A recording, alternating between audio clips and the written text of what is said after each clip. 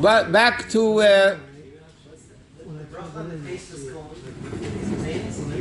we said. Oh, cheesecake on Shavuos with the bracha chreina. You you get an extra. Um, Or an extra bracha know. get an extra piece of cheesecake. The question yesterday we discussed. Okay,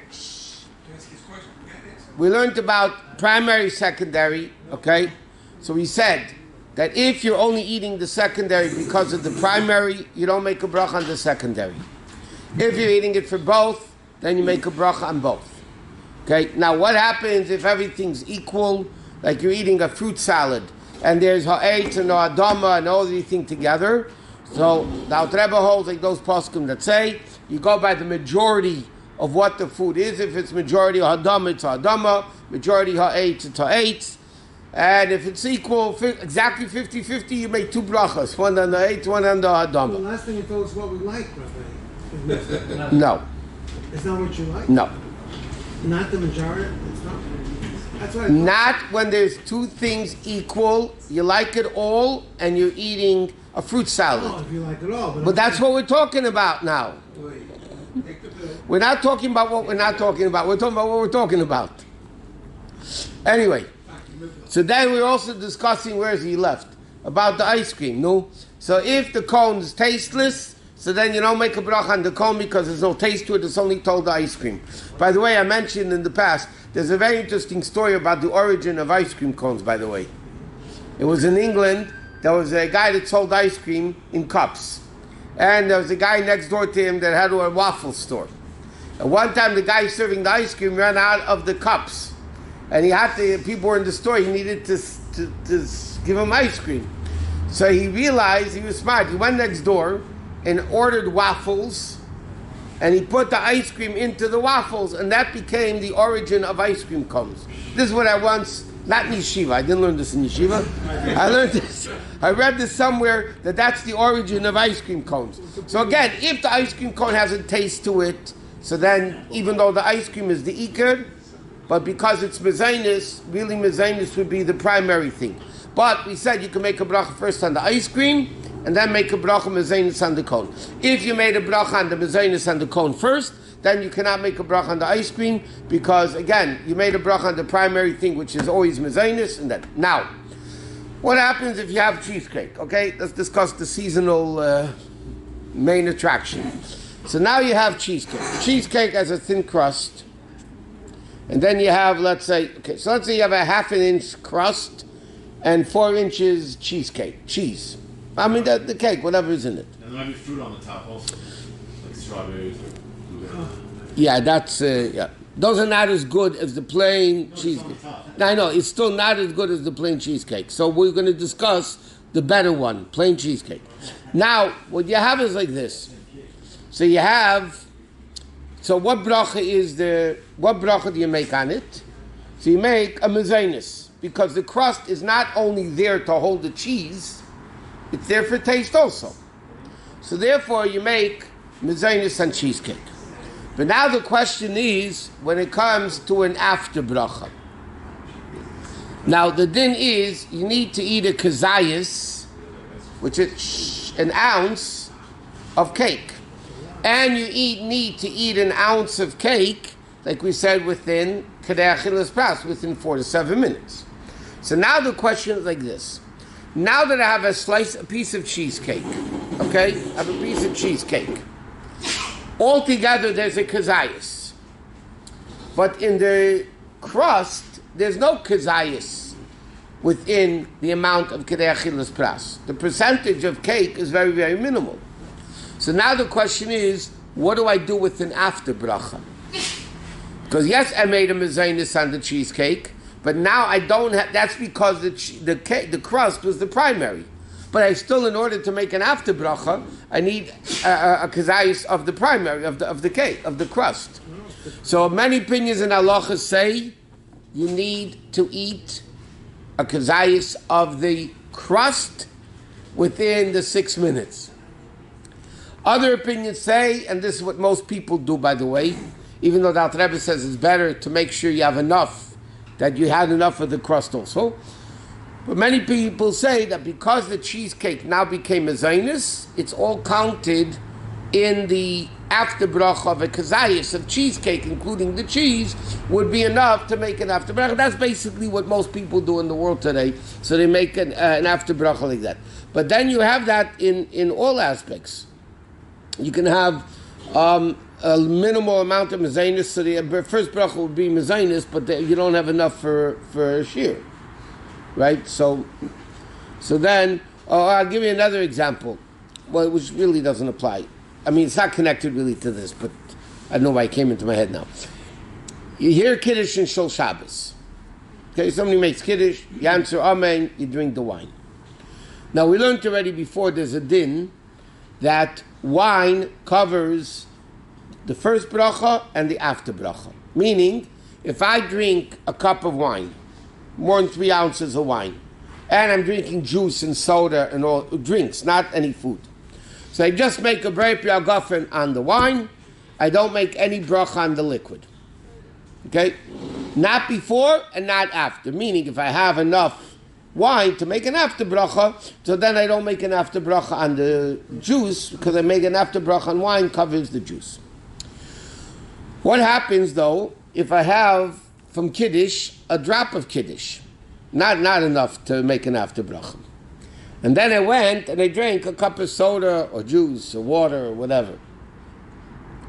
Now, the din is because I heard Bari Piagofen from the person that made kiddush, and I answer Amen.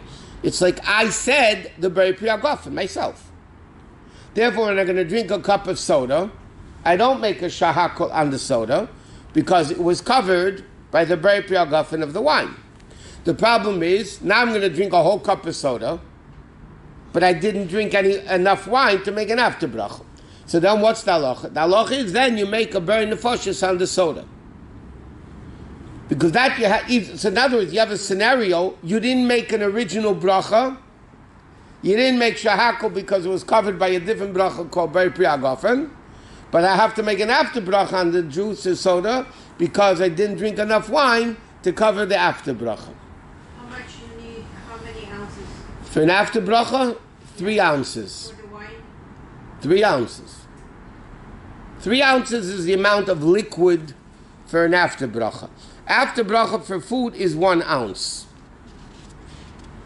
One ounce is what enough food that, that you need to make an after bracha. And if you have less than an ounce, Then you don't make an after bracha. no, I'm saying let's say you have uh, challah, and you would starve with other things. Challah, you have less than an ounce. You wash, you made a moitzi, and you had less than an ounce, but you lay, but you had other food. So the question is, the point is, you became satisfied. So then, that's an exceptional case, by the way, that if somebody, you go to a banquet, or a wedding, or a shalosh seudos for that matter. But by the way, we learned like this: when you wash and you make al natilas yadayim, in order to make the bracha al natilas yadayim, you need to eat two ounces of bread, or challah, or matzah, not one ounce, two ounces. That's in order to make the bracha al natilas yadayim. Therefore, if I know I'm going to only have one slice of bread, which is one ounce, not two, I have to wash for bread, but I don't make the bracha on the tilas yadayim. I just wash my hands without a bracha. Now I need to bench on a kazayis. So l'chatchila I need to a kazayis of bread. What? One minute. One minute. What happens if I ate a half a kazayis of bread, Right. but I ate a bunch of other foods, i.e., not stam desserts. If I ate fish, meat, chicken, eggs, things like that, and I became full, Yeah. even though it's not the best thing to do, but you still have to bench. Lechatchila, lechatchila, you, that's not what the right thing to do. Lechatchila, you eat a kazayas of bread. No, well, I'm saying for benching. For al time, you need to eat two kazayisim, which is a kazayis. Yeah.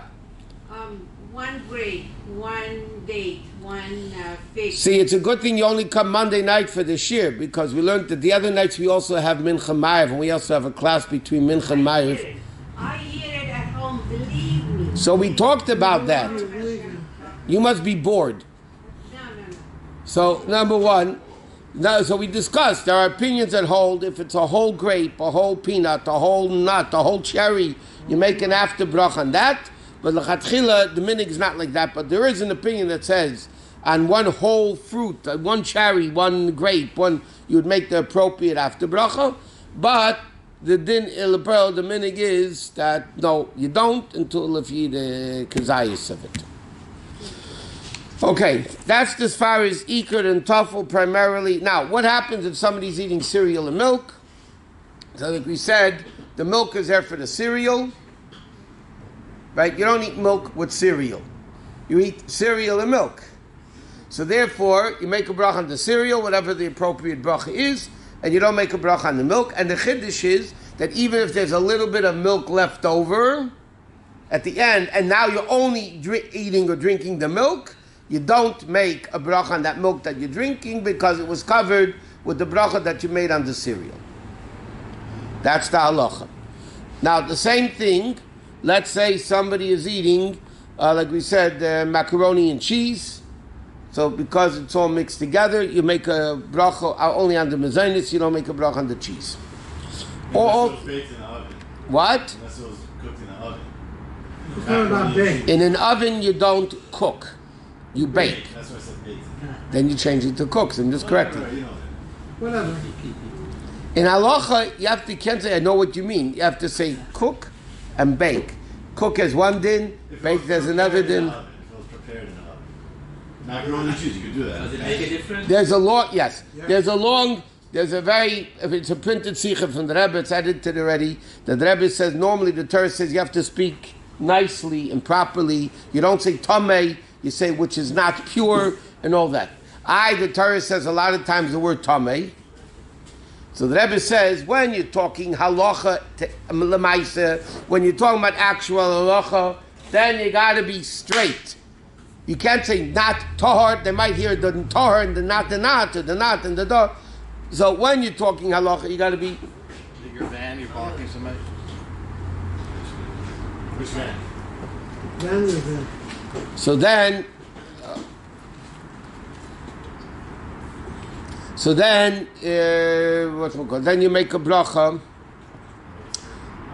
What? Someone from here or someone else? Someone else. So let him wait. I agree. We were told like 10 times that work.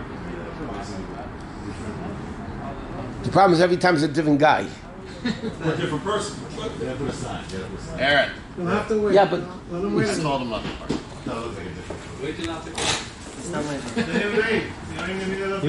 Okay, okay, okay. It's first time we we're nice. The first time we're nice. Charlie, give him a warning. First time we're nice, second time, and the third time we're mean. That's the way it works. no? Okay, um, now, by the way, two things, even if they're cooked together, but they're served separately, Like what, for instance? you can have, well, you can have, let's say, uh, in one pan, you could be cooking a chicken and uh, rice, a chicken and potatoes in one pan. So even though they're being cooked or baked together, nevertheless, it's it's not mixed together. It's not one food. It's two separate foods. So then the din is you make two separate brachas. You make let's say adama on the potatoes and shahakol on, on the chicken. So it's only when the foods are mixed together. So then you have, um, or if they're served together. I'll give you another example. You have a matzah ball soup. Okay, so now you get a plate. In the plate is a liquid chicken soup and maybe some vegetables, and then you have a matzah ball. But that was cooked together, served together, and eaten together. So then, what bracha would that chicken soup be? You'd make a mezainis. Why? Because the matzah ball, the knedel as they call it, is mezainis, and that's primary. Even though there's shahakol soup and adama carrots and celery, whatever there is in the soup, but the fact is, it's being served together. Right? You're not serving the matzah ball separately and the soup separately, and you're serving it all together. So then it's a din of ikar and tafel primary and secondary, and then you make a bracha only on the matzah ball, on the knedel, and you don't make a bracha on the soup. Do you pick the, do you hold the matzo ball when you're making the bracha? Or When you make a bracha, you make it on, on the matzah ball. so you have to find the matzo ball and If you have to find it, it's not there.